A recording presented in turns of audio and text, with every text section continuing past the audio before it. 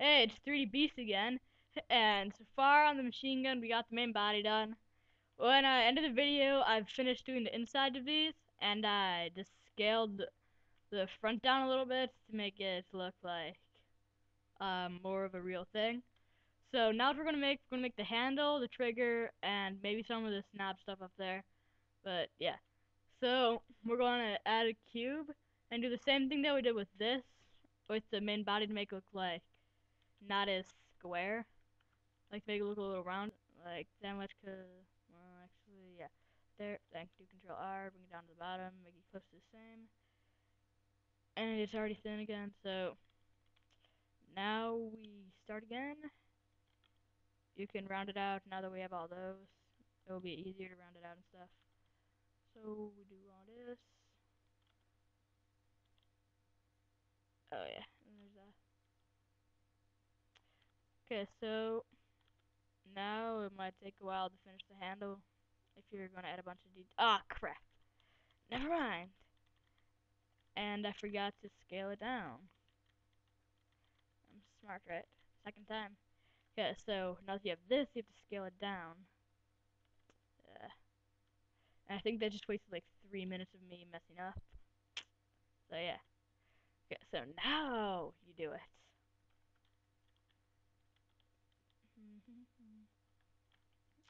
Mess up a lot. I'm just saying. But I think everybody does, so yeah. okay, so now that you have that, you go, you make it look like it's a little curved, so it's not like a fail. And I'm just to do Control R to add like a little more detail to the front, to make it a little pointed. Then you can add that to the bottom, make it look all cool and stuff. And then this is what it looks like when you just go into regular mode.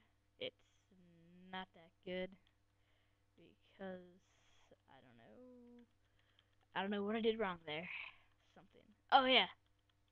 Um, I shouldn't have done like Control R because it's in the angled area.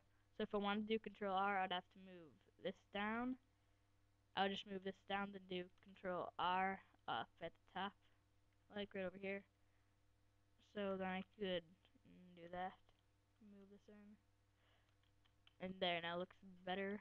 Not much but still better. So move that so it's like that. Move that so it's like that. Move this so it's like that. Move this up a little. And you can't really, if you have it in Z, you can't really check if the shading's good um, until you click Z again. Like, you can't check while you're working on it. Okay, so I finished the main bit part of the handle, and the rest is simple. You just extrude it once, right click, and then you can like bring it up and stuff. And that just covered pretty much like half the handle. And this you don't really have to make it look uh, too good. You just like move it inside the gun wherever you want to make it look like sort of a curve.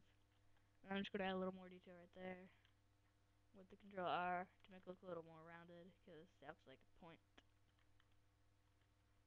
And there you go, you have a semi-crappy handle. Yay. then just fix it up a little bit if you like messed up like I did. It look less terrible.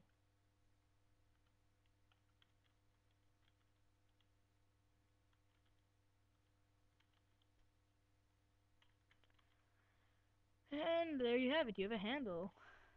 Okay, so now we're going to the trigger. Um, for the trigger, I'm not gonna make. I'm not gonna bother to make new objects. I'm just going in this one.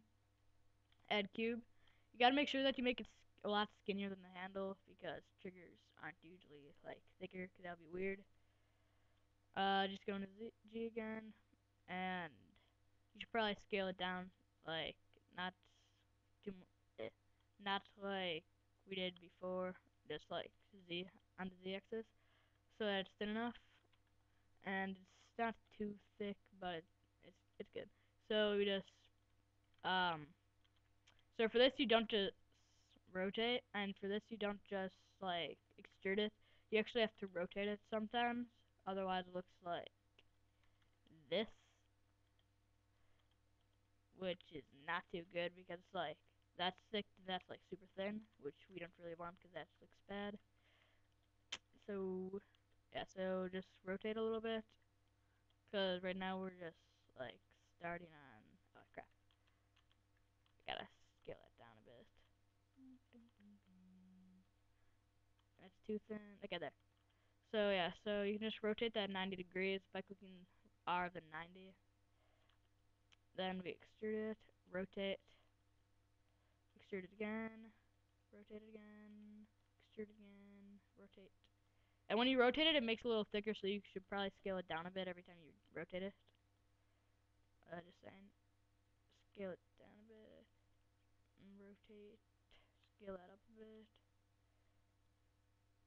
And there you go. You have the handle thingy for the trigger.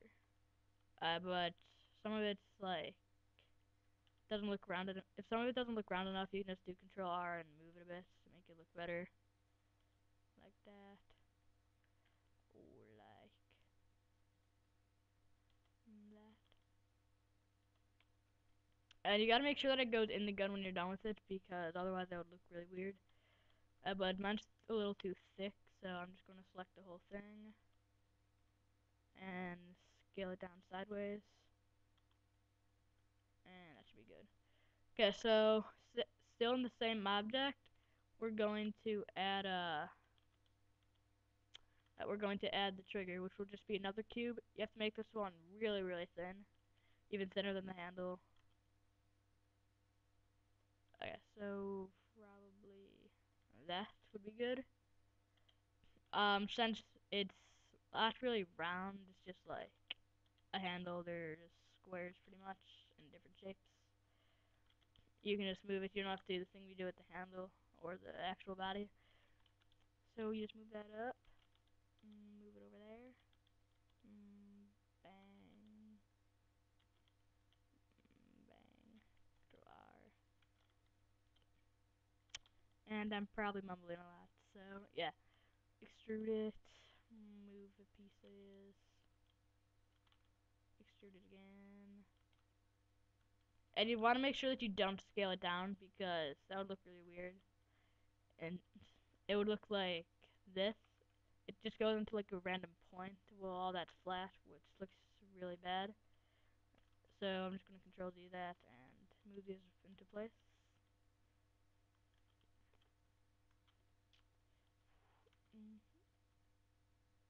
Uh, so now we want to make the hole in this. You just do Control R until you have it in the right, correct place. I'm just going to make mine a square because it's really hard to make circle holes and stuff. So you have that.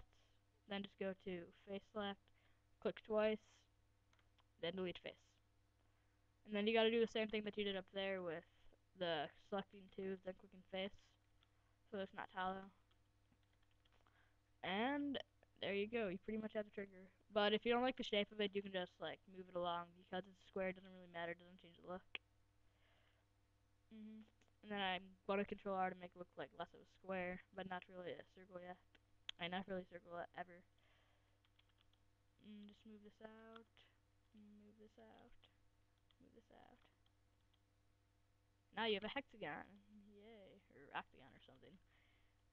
And there you go and that's your trigger and your handle. And I don't know how long this video is so far, so I'm just going to finish with part 2.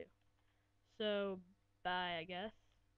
And part 3, I'm probably going to make um, the back uh, and the front if I have time. So, yeah, see ya.